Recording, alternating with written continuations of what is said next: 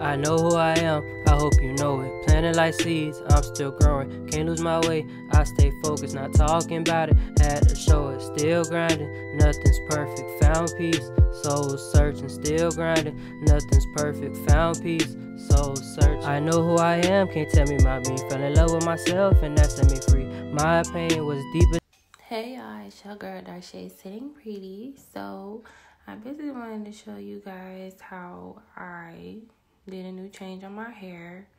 As y'all can see, I started off with a finger wave look, you know, had to add me some pink and whatever. So it was real cute.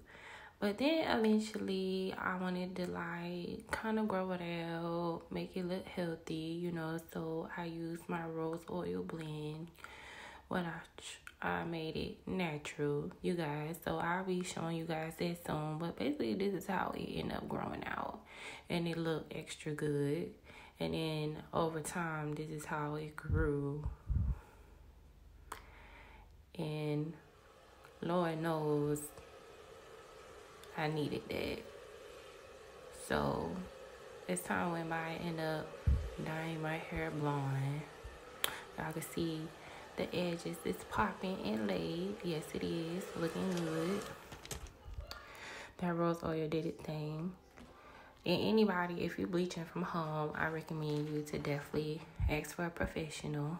But I use the Marley Kiki Twist 613 hair. That's why be doing the style at the end. I thought about going a little natural right now until I figure out what I want to do. Probably do some tape ins, probably do a bob that's blonde, probably do a side ponytail. I don't know yet. But as of right now, I said, hmm, let me do something different. Woke up and just was like, I just want to dye my hair. So I eventually end up just going to the hair store to get what I need. And I, I did use 50 volume. And I do recommend that if you do this, be sure to not shampoo or wash your hair beforehand. Like, kind of get it prepped like two, three months ahead using a conditioner. Anyway, I end up using the bleach throughout my scalp to change the color and make it like more like a white 613 base. I know I'm gonna have to go through and tone it again, but Lord knows, look in the middle, y'all, it was stinging a little bit. So just to be real, seek a professional to make sure you know you have somebody that can give you good tips on it or just listen to me because I'm the professional. Palm your grad, yes I am. And anyways, throughout the day, end up just like going around the whole outside perimeter once I went back in on the inside. And y'all, excuse my daddy, he came over to my house and brought me another hamburgers and stuff, and we like to um get going and have a lot of fun.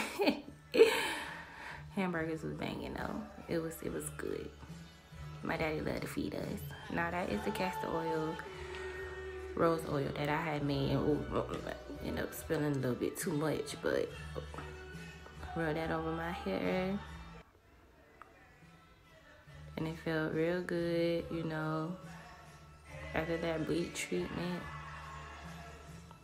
You know, we took it back in the day. My daddy loved us on Ebony Eyes, so had me feeling myself. My him and Bella was in there doing their thing. So anyways, I end up getting my face together. I said, let me add me some lashes from my line. This is the Mink Lash. I haven't came up with a name yet, but I had got a few wholesale orders. Period. Looking good already. Hair not even done. Go ahead and I went ahead and combed out them edges Y'all can see I wear plenty of wigs. But like I tell people, you take care of your hair and do it right, baby. You're gonna always have your edges. Your hair gonna always be there. If you're bald head, you know it's because you snatched it out or you just automatically just pulled the wig off. Trust me, I know. I've been in the industry, been doing wigs for people since I've been 14. I know when y'all snatching them out and I know when y'all taking care of them edges. So as long as you take care of your hair, oil it, condition it, you good. So now I'm brushing it up, getting it ready for my ponytail.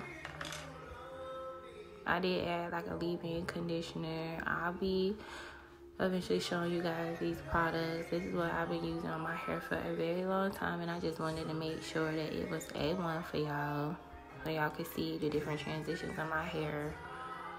Cause I've dyed my hair. If you know me, I dye my hair plenty of times blonde. Y'all, my daddy love this song. I don't know if y'all can hear his vocals, but shy, he was in there just singing his heart away, and I just let him and Bella do anything.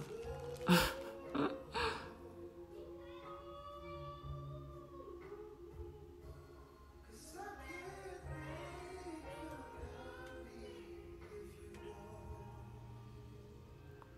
Yeah, I ended up putting my hair in a ponytail. To get it through. Add me some kiki braids up front. Well, kinky twist.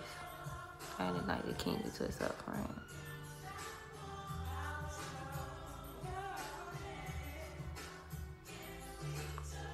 That's that tapping camera right there. If you know, you know.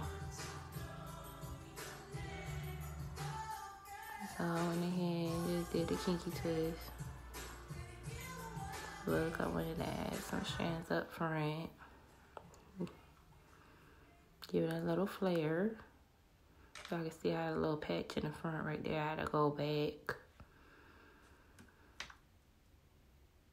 and fix it. I had saw it. I was like, oh my gosh, gotta fix it. So I went ahead and fixed it.